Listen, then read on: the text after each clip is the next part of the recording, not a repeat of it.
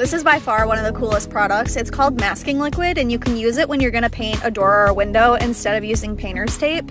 All you do is paint it directly onto the glass. You wanna make sure that it's kind of thick and then once it's dry, it will be this clear like protective film so that you can go ahead and paint and not worry about the glass. And then this is where the magic happens. You take a razor and just cut the edges and then you can just peel back the film for perfectly crisp lines. It seriously makes projects so much easier, so be sure to follow along for more tips and tricks.